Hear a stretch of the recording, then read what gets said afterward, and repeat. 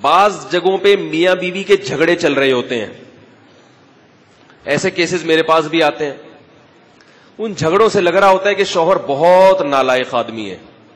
لیکن جب رپورٹ سامنے آتی ہے پتا چلتا ہے کہ جھگڑا ہو ہی اس لیے رہا ہے کہ یہ بہت ہی نائس آدمی ہے۔ یہ بہنوں کو بھی کھلا رہا ہے اپنی آمدن میں سے۔ اپنے باپ اور اپنی ماں پہ بھی خرچ کر رہا ہے۔ سخی ہے۔ بھائیوں کو بھی کھلاتا ہے اور گھر والوں پہ بھی خرچ کرتا ہے۔ تو بیگم کو یہ پسند نہیں ہے کہ یہ اپنی تنخواہ سے اتنے لوگوں کو کھلائے۔ اور بعض دفعہ جھگڑے کی بنیاد اس پر ہوتی ہے کہ بیوی سخی ہے، عورت میں سخاوت ہے۔ مرد کو یہ سخاوت برداشت نہیں ہو رہی ہوتی کہ میری بیگم اپنے بھائیوں کو کیوں کھلا رہی اپنے پیسوں میں سے۔ عورت اپنے پیسوں میں سے کھلا رہی ہے اپنے بھائیوں کو، اپنے ماں باپ کو۔ تو شوہر کو کیا ہو رہی ہے؟ تکلیف. اب گھر میں کیا چپکلس چل رہی ہے، جھگڑا چل رہا ہے. اب لوگ تو کہیں گے کہ اس گھر میں دین نہیں ہے. حالانکہ اس گھر میں دین ہے، اسی وجہ سے کیا ہو رہی ہے؟ لڑائی ہو رہی ہے. اگر دونوں کنجوس ہوتے ایک نمبر کے، تو کتنی محبت سے ہنسی خوشی زندگی گزارتے؟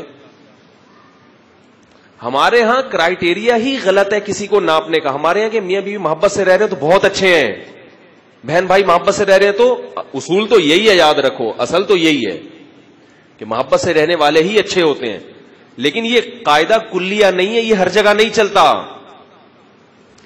جب رسول اللہ صلی اللہ علیہ وسلم دنیا میں آئے، تو آپ صلی اللہ علیہ وسلم نے جب بت پرستی کی مخالفت کی ہے، تو رشتہ داریاں ٹوٹنا شروع ہوئی ہیں۔ وقتی طور پر جڑنا نہیں شروع ہوئی۔ جڑنے کے بجائے، بولو بھائی، ٹوٹنا شروع ہوئی ہیں۔